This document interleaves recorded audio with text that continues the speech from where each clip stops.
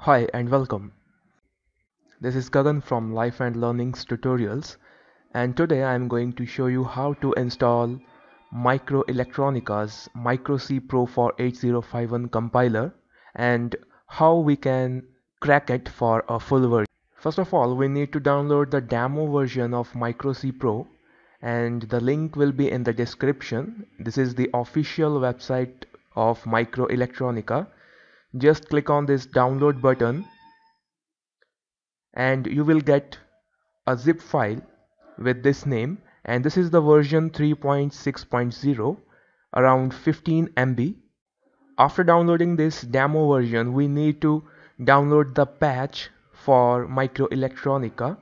And this is known as the universal patch version 1.1 the link will be in the description this website is in a different language and you have to translate it into English. And you have to click on this button to download the universal patch for MikroC. Now I have both softwares downloaded.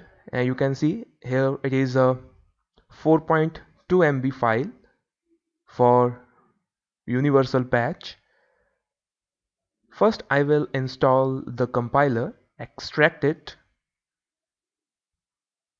open the folder, double click on it, just follow the on-screen instructions, click on next, click on I accept, next and install for all users, next, next and remember this location, it is very important this is the default location here. C users public document and this will be the folder MikroElektronika. So if you got a different location so make sure you are in the correct location. It should be in C drive then users public and public documents. And here you can see we have this folder MikroElektronika. Click on ok and click on install now the setup is completed. Click on finish and it will pop up few options to you. Do you want to install flash programmer? No. Do you want to install flash programmer drivers? No. Do not run the program because we are going to crack it. So click on no. And now we have this shortcut created on the desktop. You can run this compiler. This is and here on the top bar we are getting this text not registered. So this is not a full version software. We are going to patch it. So cancel it then extract the universal patcher. And you can see threats found. My antivirus has detected it as a virus so delete this folder. I have two antivirus programs. First I have this malware anti-malware. I will go to settings then detection and protection. I have to disable the detection and protection in this software as in Windows Defender. So if you have any other antivirus program you have to disable the security. Here I have to disable it open Windows Defender Security Center then virus and threat protection virus and protection settings and real-time protection you have to turn it off. The procedure will be different for any other antivirus so you have to remember that how to disable and again enable the security now again extract the files from universal patch folder and we are ready to patch the MikroC compiler. You can see we have two folders inside it. Go to compilers folder and this is patch. So right click and run as administrator. Now to patch the compiler we have to click on this patch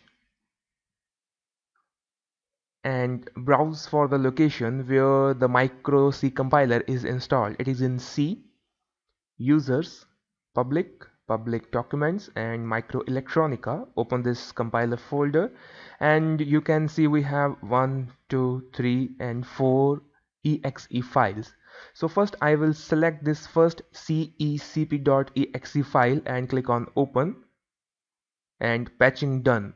Now the one file is patched close the patcher again open it again click on patch. Now select the next file mcpp.exe open it overwrite the file yes and patching is done. Again close the patching software again open it click on patch select the third file open it and overwrite the file patching done close it open the patch click on patch select the last file open overwrite and patching done. Now close it cancel it delete the folder and keep the compressed folder with you and you can now enable the real-time protection of your antivirus. And now run the program now you can see there is no not registered text on the top bar. That means our MikroC compiler is fully cracked with the patch and it is a default program opened in this. So this is all about how to install a MikroC pro compiler. You can use the same universal patch for all type of MikroC compilers such as for PIC for AVR or for ARM so the procedure will be similar and steps will be the same. So thanks for watching and don't forget to subscribe the channel